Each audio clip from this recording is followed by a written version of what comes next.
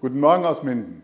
Ich treffe heute die Beigeordnete für Bildung, Kultur, Sport und Freizeit, Stefanie Duensing, und freue mich sehr, dass sie da ist. Guten Morgen. Guten Morgen, ich grüße Sie, Herr Beermann.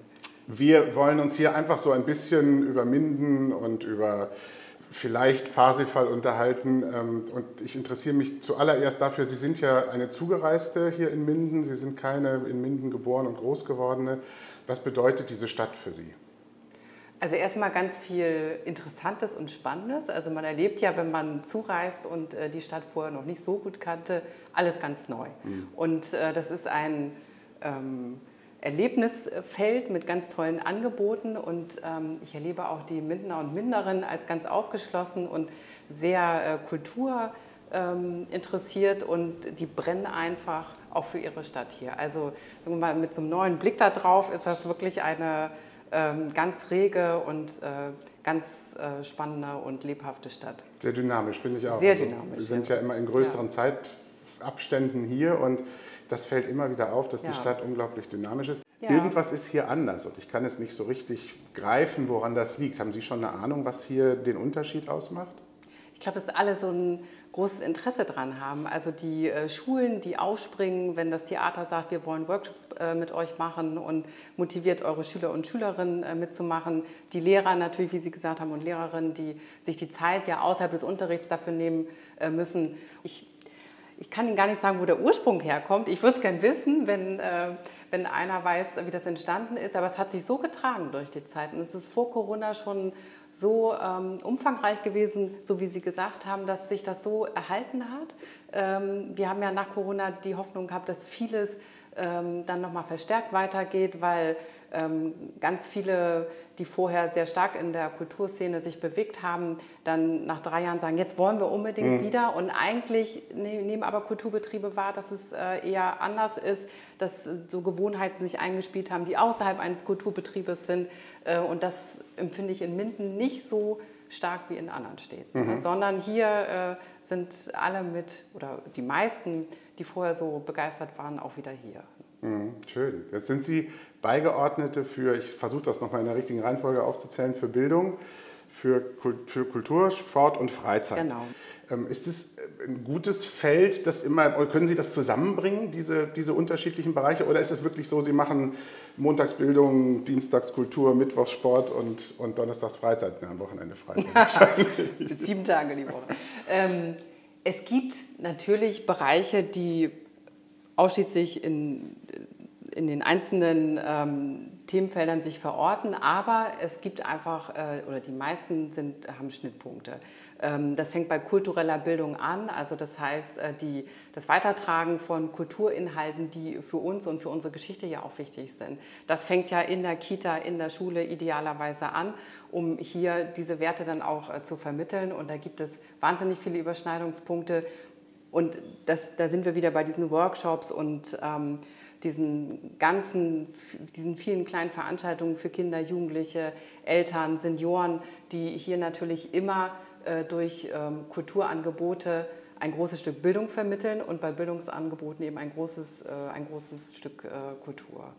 Es ist tatsächlich so, dass wir, also aus der, aus der kulturschaffenden Perspektive heraus, dass wir natürlich uns immer und noch viel mehr wünschen, dass Bildung Teil des Ganzen wird, weil was wir sehr stark beobachten, schon seit, seit, also ich beobachte das schon seit 20 Jahren fast, dass die, dass die Bildung, also dass die kulturelle Bildung irgendwie immer weniger wird und dadurch wird natürlich auch die Möglichkeit überhaupt sich auseinanderzusetzen mit kulturellen Inhalten ein bisschen reduziert. Also wir haben jetzt hier die tolle Situation, dass es unheimlich getragen wird und dass es eben auch in den Schulen schon vorbereitet wird und das ist so das, was man sich eigentlich immer wünschen würde. Vielerorts ist es aber so, dass, dass ganz viele Menschen gar nicht mehr damit in Kontakt kommen. Also dass sozusagen ja. die Grundlage gar nicht geschaffen ist dafür, dass man später mal ins Theater oder ins Konzert ja. geht.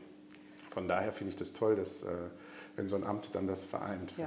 Es ist halt, wenn ich das noch kurz sagen darf, natürlich auch immer eine Finanzierungsfrage. Ne? Also Klar. das weiß man im Kulturbereich.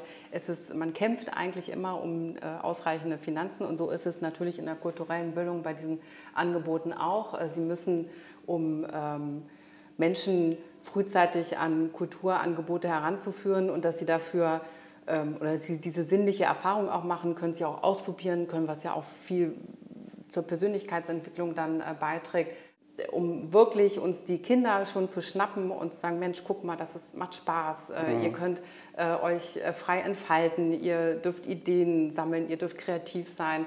Und das muss am Anfang etwas sein, was ausreichend unterfüttert ist mit finanziellen Möglichkeiten, damit wir das auch entsprechend anbieten können. Und auch hier muss ich sagen, ist die Stadt Minden wirklich im Vergleich zu anderen Städten ein Vorreiter, auch was, das, ähm, was die Kulturentwicklung überhaupt hier in der Stadt angeht.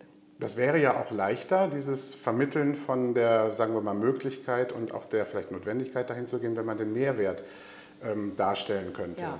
Ähm, wie schaffen wir es denn, Ihrer Meinung nach, in unserer Gesellschaft allgemein, nicht nur in Minden, ähm, diese Mehrwerte mal wieder ins Gespräch zu bringen? Denn ich habe die Erfahrung gemacht, dass immer dann, wenn Menschen in Situationen kommen, wo die Themen, die Lebensthemen ernster werden, da wird dann auch das Interesse an klassischer Kultur wieder größer, weil da genau solche Fragen zum Teil auch behandelt und zum Teil sogar beantwortet werden. Ähm, meinen Sie, sowas kann man in Bildung einfließen lassen? Unbedingt, das passiert ja auch an ganz vielen Stellen mhm. schon. Ähm, sie erreichen ja Menschen immer dann, wenn sie sich emotional berührt fühlen. Das hatten Sie ja auch schon gesagt. Mhm. Und das ist natürlich bei Popmusik viel ähm, eingänglicher als, äh, eingängiger als äh, jetzt äh, bei so symbolhaften Geschichten wie äh, bei den Werken von Wagner oder wenn man an Märchen zum Beispiel äh, denkt. Das sind dann heutzutage viele Kinder und Jugendliche, auch Erwachsene nicht mehr gewohnt, das für sich zu entschlüsseln, diese Symbole. Aber gerade diese sehr starke Auseinandersetzung, dieses Hineindenken, was könnte das bedeuten, verinnerlicht ja dann dieses Thema viel stärker, als wenn sie einen Popsong hören. Also mhm. da mögen andere widersprechen, aber ich ähm, habe ja viele Jahre lang, also von Hause aus bin ich Pädagogin, äh, mit Kindern, Jugendlichen, Senioren auch gearbeitet, auch was Symbolik, Märchen und ähm, sagen wir mal so tradierte Geschichten auch angeht. Und das ist also wirklich ein ganz tolles Erlebnis zu sehen, wie Menschen diese Geschichten aufnehmen, diese Symbolik, ähm, wenn man ihnen dabei helfen kann, das zu entschlüsseln für sich selbst und wie das denn sich so verankert. Und wenn ich so diese schwierige Auseinandersetzung mit solchen verklausulierten Themen selber erlebe und am Ende so diese Hoffnung dann für mich ähm, finde und das auf mein eigenes Leben übertragen kann, das, glaube ich, prägt einen. Es entwirft, also weil Sie gerade sagen, Mythen, Märchen in, diesem, in dieser mythologischen Geschichte Parsifal, die ja nicht von Wagner erfunden worden ist, die es schon im Mittelalter gab, Wolfram ja. von Eschenbach, der französische Parsifal und so weiter, entwirft sich ja oder wird ein Bild entworfen von einer besseren Welt vor. Ähm, so eine Welt wünschen wir uns ja heute auch. Also wir sind ja heute mehr als vielleicht jemals damit beschäftigt, wie wir unsere Umwelt, unsere Welt so gestalten, dass sie lebenswert bleibt oder vielleicht noch lebenswerter wird. Ähm, so ganz persönlich, was ist denn Ihr Wunsch für die Zukunft? Oh, ich weiß gar nicht, ob ich das in so wenigen Sätzen beantworten kann. Es, ich glaube, und nochmal zurück auf Passival, ja. ähm, es ist ja auch eine Entwicklungsgeschichte. Das heißt, da entwickelt sich ein junger Mann ja zu, einer, zu einem Held einer Geschichte, um genau diese äh, zukünftige bessere Welt herzustellen oder sich daran mit zu beteiligen. Und ähm, ich glaube, das ist genau der Weg. Das heißt, wir müssen Kindern, allen Kindern die Möglichkeit geben, sich so zu entwickeln, dass sie sich frei entfalten können und sich frei bilden können, um mit einem klaren und wachen Auge auch auf die Welt zu gucken und sie auch richtig einordnen zu können. Danke für das Gespräch. Gerne.